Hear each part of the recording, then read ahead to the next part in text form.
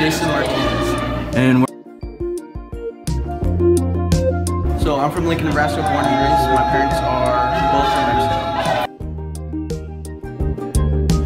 Los Muertos to me uh, signifies a day where we remember those who have passed, loved ones, families, friends, um, and we just remember them for who they were, uh, the things that they enjoyed. So when we, uh, one way we do that is by setting up an altar with food that they've, uh, that we know they, they enjoy, like. Um, we have some Mexican sweet bread that we put out on a plate in front of their picture with candles, flowers, other decorations, as well as, um, uh, you know, like what, maybe if they like uh, Coke or, you know, maybe just a glass of juice or something like that.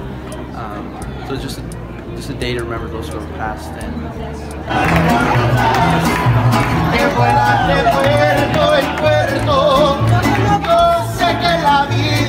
corta.